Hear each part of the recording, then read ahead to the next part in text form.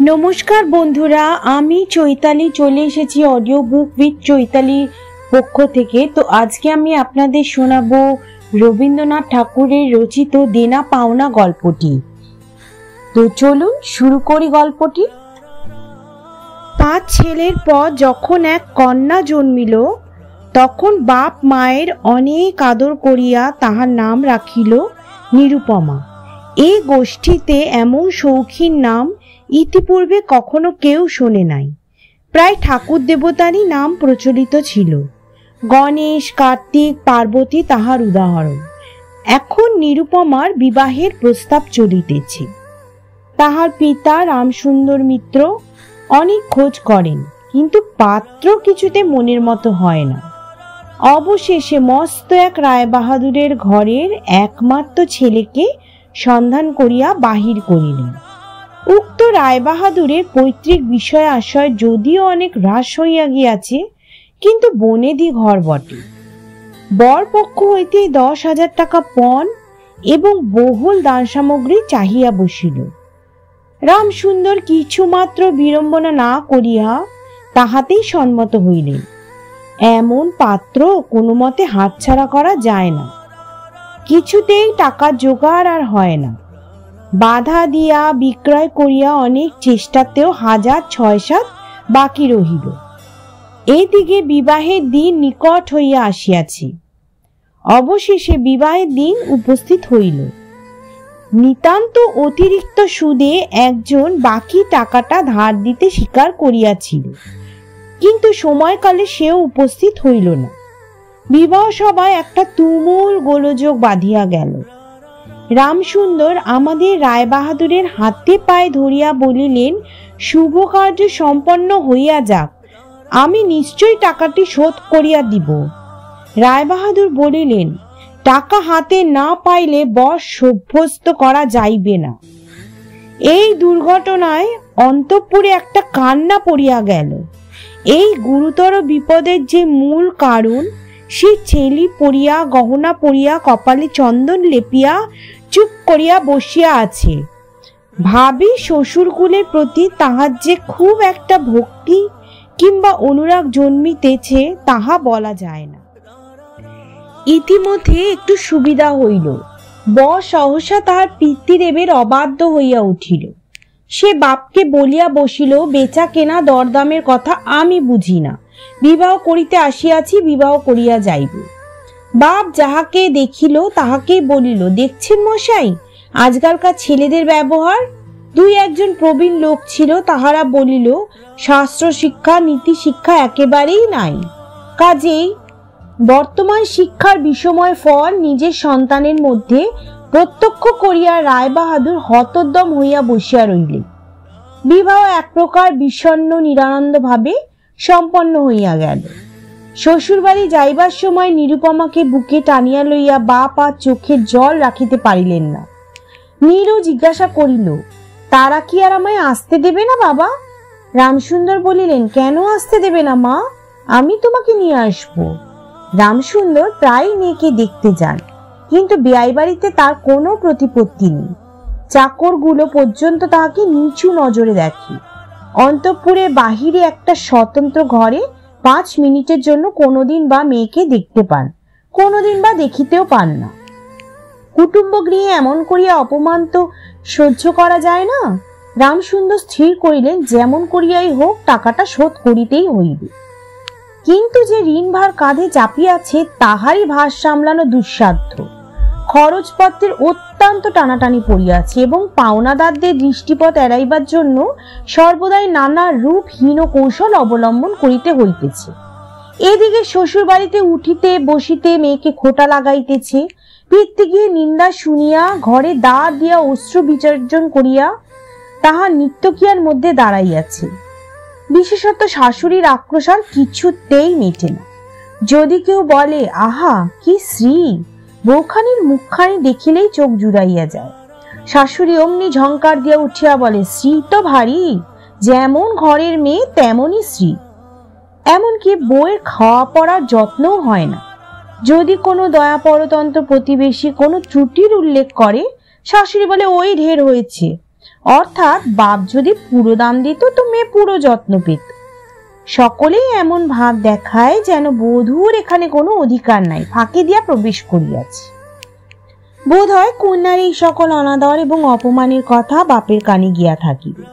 তাই রামসুন্দর অবশেষে বসত বাড়িটি বিক্রয় করিবার চেষ্টা করিতে লাগিলেন। কিন্তু ছেলেদের যে গৃহহীন করিতে বসিয়াছেন, সে কথা তাহাদের নিকট হইতে গোপন রাখিল স্থির করিয়াছিলেন, বাড়ি বিক্রয় করিয়া সে বাড়ি ভাড়া লইয়াই বাস করিবে এমন কৌশলে চলিবেন যে তাহার মৃত্যুর পূর্বে একথা ছেলেরা জানিতেই পারিবে না। কিন্তু ছেলেরা জানিতে পারিয়া গেল। সকলে আসিয়া কাঁদিয়া পড়িল। বিশেষত বড় তিনটি ছেলে বিবাহিত এবং তাহাদের কাহারও বা সন্তানও আছে। তাদের আপত্তি অত্যন্ত গুরুতর হইয়া দাঁড়াইল।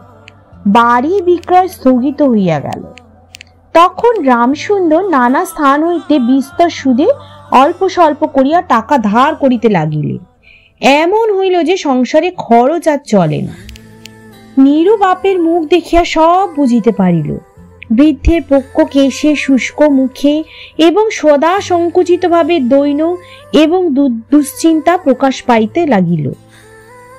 মেয়ের কাছে যখন বাপ অপরাধী, তখন সে অপরাধের অনুতাপ কি আর গোপন রাখা যায়? রামসুন্দর যখন বেআই বাড়ির অনুমতিক্রমে ক্ষণকালের জন্য কন্যা সাক্ষাৎ লাভ করিতেছেন, তখন বাপের মুখ যেন কেমন করিয়া ফাটে সেটা তাহার হাসি দেখিলেই টের পাওয়া যেত। সে ব্যথিত পিতৃদয়কে সান্ত্বনা দেওয়ার জন্য দিন কয়েকে বাপের বাড়ি যাইবার জন্য নিরু অত্যন্ত অধীর হইয়া উঠিয়াছিল। বাপের ম্লান মুখ দেখিয়া সে আর দূরে থাকিতে পারে না। একদিন রামসুন্দরকে কহিল, বাবা, আমাকে একবার বাড়ি লইয়া যাও রামসুন্দর বলিলেন আচ্ছা।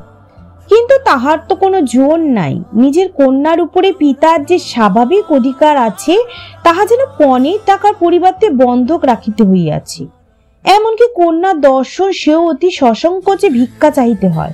এবং সময় বিশেষে নিরাশ হইলে দ্বিতীয় কথাটি কহিবার মুখও থাকে না। কিন্তু মেয়েটি আপনি বাড়ি আসিতে চাহিলে বাপ তাহাকে না নিয়ে কেমন করিয়া থাকেন? তাই বেআইয়ের নিকট সে সম্বন্ধে দরখাস্ত পেশ করিবার পূর্বে রামসুন্দর কত হীনতা, কত অপমান, কত ক্ষতি স্বীকার করিয়া যে তিনটি হাজার টাকা সংগ্রহ করিয়াছিলেন, সে ইতিহাস গোপন থাকাই ভালো। নোট কখানি রুমালে জড়িয়া চাদরে বাঁধিয়া রামসুন্দর বেআইয়ের নিকট গিয়া বসিল। প্রথমে হাস্যমুখে পাড়ার খবর পাড়িল। হরেকৃষ্ণের বাড়িতে একটি মস্ত চুরি হইয়া গিয়াছে। তাহার আদ্যপ্রান্ত বিবরণ বলিলেন নবীন মাধব এবং রাধা মাধব দুই ভাইয়ের তুলনা করিয়া বিদ্যা, বুদ্ধি ও স্বভাব সম্বন্ধে রাধা মাধবের সুখ্যাতি এবং নবীন মাধবের নিন্দা করিলেন। শহরে একটি নতুন ব্যায়ামও আসিয়াছে। সে সম্বন্ধে অনেকেই আজগুবি আলোচনা করিলেন। অবশেষে হুকাটি নামাইয়া রাখিয়া কথা কথা বলিলেন হ্যাঁ হ্যাঁ বেআই সেই টাকাটা যে বাকি আছে বটে। রোজই মনে করি, যাচ্ছি অমনি হাতে করে কিছু নিয়ে যাই। কিন্তু সময়কালে আর মনে থাকে না। আর ভাই বুড়ো হয়ে পড়েছি। এমনি এক দীর্ঘ ভূমিকা করিয়া পঞ্জরে তিনখানি অস্থির মতো সেই তিনখানি নোর যেন অতি সহজে অতি অবহেলে বাহির করিলেন। সবে তিন হাজার টাকার নোট দেখিয়া রায়বাহাদুর অট্টহাস্য করিয়া উঠিলেন।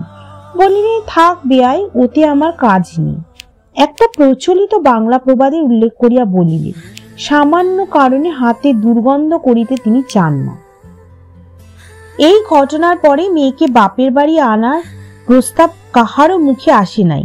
কেবল রামসুন্দর ভাবিলেন, যে সকল কুটুম্বিতার সংকোচ আমাকে আর শোভা পায় না। মর্মাহত ভাবে অনেকক্ষণ চুপ করিয়া থাকিয়া অবশেষে মৃদুস্বরে কথাটা পারিলেন। রায়বাহাদুর কোনো কারণ মাত্র উল্লেখ না করিয়া বলিলেন, সে এখন হচ্ছে না। এই বলিয়া কর্মোপলক্ষে স্থানান্তরে চলিয়া গেলেন রাম সুন্দর মেয়ের মুখ না দেখিয়া কম্পিত হস্তে কয়েকখানি নোট চাদরের প্রান্তে বাঁধিয়া বাড়ি ফিরিয়া চলিয়া গেলেন। মনে মনে প্রতিজ্ঞা করিলেন, যতদিন না সমস্ত টাকা শোধ করিয়া দিয়া অসংকোচে কন্যার উপরে দাবি করিতে পারিবেন, ততদিন আর বেআই বাড়ি যাইবেন বহুদিন হইয়া গেল, নিরুপমা লোকের উপর লোক পাঠায় কিন্তু বাপেরা দেখা পায় অবশেষে অভিমান করিয়া লোক পাঠানো বন্ধ করিল। তখন রামসুন্দরের মনে বড় আঘাত লাগিল। কিন্তু তবু গেলেন না। আশ্বিন মাস আসিল, রামসুন্দর বলিলেন, এবার পুজোর সময় মাকে ঘরে আনি বই। না নইলে আমি খুব একটা শক্ত রকম শপথ করিবেন পঞ্চমী কি ষষ্ঠীর দিনে আবার চাদরের প্রান্তে গুটি কয়েক নোট বাঁধিয়া রামসুন্দর যাত্রার উদ্যোগ করিলেন পাঁচ বৎসরের একটি নাতি আসিয়া বলিল, দাদা, আমার জন্য গাড়ি কিনতে যাচ্ছিস? বহুদিন হইতে তাহার ঠেলা গাড়িতে চড়িয়া হাওয়া হইবার শখ হইয়াছে। কিন্তু কিছুতেই তাহার মিটাইবার উপায় হইতেছে না। ছয় বৎসরের এক নাতনি আসিয়া সরদনে কহিল, পূজার নিমন্ত্রণে যাইবার মতো তাহার একখানিও ভালো কাপড় নাই। রামসুন্দর তাহা জানিতেন। এবং সে সম্বন্ধে তামাক খাইতে খাইতে বৃদ্ধ অনেক চিন্তা করিয়াছেন রায় বাহাদুরের বাড়ি যখন পূজার নিমন্ত্রণ হইবে, তখন তাহার বধূগণকে অতি যৎসামান্য অলঙ্কারে অনুগ্রহ পাত্র দারিদ্রের মতোই যাইতে হইবে। এ কথা স্মরণ করিয়া তিনি অনেক দীর্ঘ নিঃশ্বাস ফেলিয়াছেন। কিন্তু তাহাতে তাহার ললাটের বার্ধক্য রেখা গভীরতর অঙ্কিত হওয়া ছাড়া আর কোনো ফল হয় নাই। দৈন্য পীড়িত গৃহের ক্রন্দনধ্বনি কানে লইয়া বৃদ্ধ তাহার বিয়াই বাড়িতে প্রবেশ করিল। আজ তাহার যে সংকোচ ভাব নাই দ্বার রক্ষী এবং ভৃত্যদের মুখের প্রতি সে চকিত সলজ্জ দৃষ্টিপাত দূর হইয়া গিয়াছে, যেন আপনার গিয়ে প্রবেশ করিলেন। শুনিলেন রায়বাহাদুর ঘরে নাই, কিছুক্ষণ অপেক্ষা করিতে হইবে। মনের উচ্ছ্বাস সংবরণ করিতে না পারিয়া রাম সুন্দর কন্যার সহিত সাক্ষাৎ করিলেন আনন্দে দুই চোখ দিয়া জল পড়িতে লাগিল। বাপও কাঁদে, মেয়েও কাঁদে। দুইজনে কেহই আর কথা কহিতে পারে না। এমন করিয়া কিছুক্ষণ কাটিয়া গেল। তাহার পরে রামসুন্দর কহিলেন, এবার তোকে নিয়ে যাচ্ছি মা, আর কোনো গোল নাই। এমন সময় রামসুন্দরের জ্যেষ্ঠ পুত্র হরমোহন তাহার দুইটি ছোট ছেলেকে সঙ্গে লইয়া সহসা ঘরে প্রবেশ করিলেন। পিতাকে বলিলেন, বাবা, আমাদের তবে এভাবে পথে ভাসালে? রামসুন্দর সহসা অগ্নিমূর্তি হইয়া বলিলেন, তোদের জন্য আমি কি নরকগামী হব? আমাকে তোরা আমার সত্য পালন করতে দিবি নে? রামসুন্দর বাড়ি বিক্রয় করিয়া বসিয়া আছে। ছেলেরা কিছুই জানিতে না পায়, তাহার ব্যবস্থা করিয়াছেন কিন্তু তবু তাহারা জানিতে পাইয়া গেছেন। দেখিয়া তাহার প্রতি হঠাৎ অত্যন্ত রুষ্ট, বিরক্ত হইয়া উঠিলেন তাহার নাতি তাহার দুই হাঁটু সবলে জড়াইয়া ধরিয়া মুখ তুলিয়া কহিল, দাদা, আমাকে গাড়ি কিনে দিলি নে। নত শিরে রামসুন্দরের কাছে বালক কোন উত্তর না পাইয়া নিরুর কাছে গিয়া কহিল, পিসিমা, আমাকে একখানি গাড়ি কিনে দেবে? নিরুপমা সমস্ত ব্যাপার বুঝিতে পারিয়া কহিল, বাবা, তুমি যদি আর এক পয়সাও আমার শ্বশুরকে দাও তাহলে আর তোমার মেয়েকে দেখিতে পাবে না। এই তোমার গা ছুঁয়ে বললি। রামসুন্দর বলিলেন, ছি মা, অমন কথা বলিতে নাই। আর এই টাকাটা যদি আমি না দিতে পারি, তাহলে তোর বাপের অপমান আর তোরও অপমান। নীরু কহিল, টাকা যদি দাও, তবেই অপমান। তোমার মেয়ের কি কোনো মর্যাদা নেই? আমি কি কেবল একটা টাকার থলি? যতক্ষণ টাকা আছে, ততক্ষণই আমার দাম। না বাবা এই টাকাটা দিয়ে তুমি আমার অপমান করো না? তাছাড়া আমার স্বামী তো এ টাকা চান না। রামসুন্দর কহিলেন, তাহলে তোমাকে যেতে দেবে না মা? নিরুপমা কহিল, না দেয়। কি করবে বলো? তুমিও আর নিয়ে যেতে ছিও না? রামসুন্দর কম্পিত হস্তে নোট বাঁধা চাদরটি কাঁধে তুলিয়া আবার চোরের মতো সকলে দৃষ্টি এড়াইয়া বাড়ি ফিরিয়া গেলেন। কিন্তু রামসুন্দর এই যে টাকাটি আনিয়াছিলেন এবং কন্যার নিষেধে সে টাকাটি না দিয়াই চলিয়া গিয়াছেন, সে কথা আর গোপন রহিল না। কোনো স্বভাব কৌতূহলী, দ্বার, লগ্ন, কর্ণ, দাসী, নিরু শাশুড়িকে এই খবরটি দিল। শুনিয়া তাহার আর আক্রোশের সীমা রহিল না। নিরুপমার পক্ষে তাহার শ্বশুরবাড়ির সরসজ্জা হইয়া উঠিল। এদিকে তাহার স্বামী বিবাহের অল্পদিন পরেই ডেপুটি ম্যাজিস্ট্রেট হইয়া দেশান্তরে চলিয়া গিয়াছেন। এবং পাছে সংসর্গ দোষহীনতায় শিক্ষা হয়, ওই ওজরে সম্প্রতি বাপের বাড়ির আত্মীয়দের সহিত নিরু সাক্ষাৎকার সম্পূর্ণ নিষিদ্ধ হইয়াছে। এই সময় নিরু একটা গুরুতর পীড়া হইল।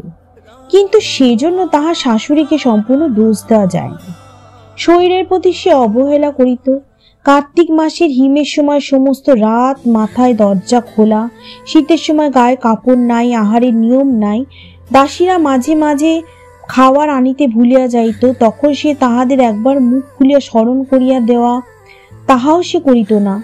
সে যে পরের ঘরের দাসদাসী এবং কর্তা গৃহিণীদের অনুগ্রহের উপর নির্ভর করিয়া বাস করিতেছে, এই সংস্কার তাহার মনে বদ্ধমূল হইয়া গিয়াছিল। কিন্তু এরূপ ভাবটাও শাশুড়ি সহ্য হইত না।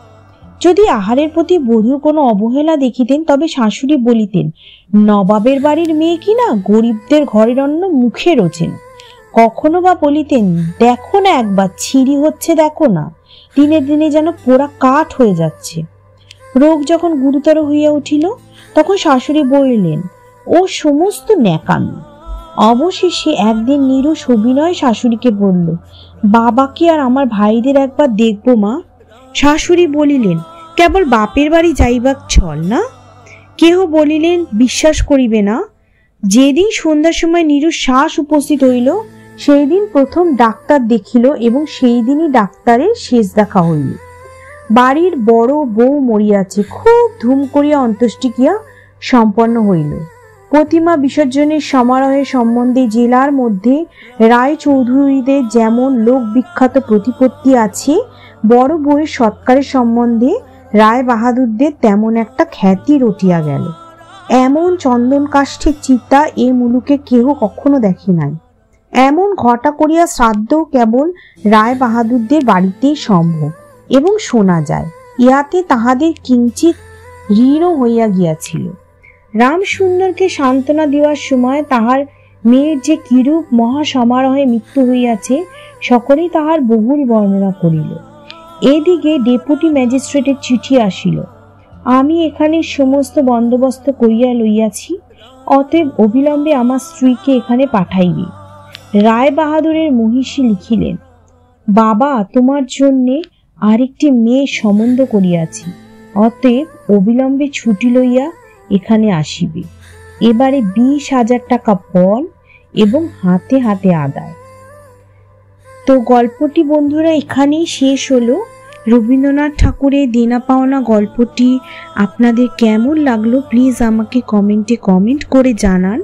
যদি ভালো লেগে থাকে তবে অবশ্যই চ্যানেলটি সাবস্ক্রাইব করবেন এবং লাইক করবেন এবং এই চ্যানেলটিকে গ্রো করার জন্য এটিকে শেয়ার করে দেবেন এবং কোনো ভুল ত্রুটি থাকলে অবশ্যই কমেন্টে আমাকে জানাবেন। আজ চলি আবার আসব। ধন্যবাদ সবাইকে। সবাই ভালো থাকুন, সুস্থ থাকুন।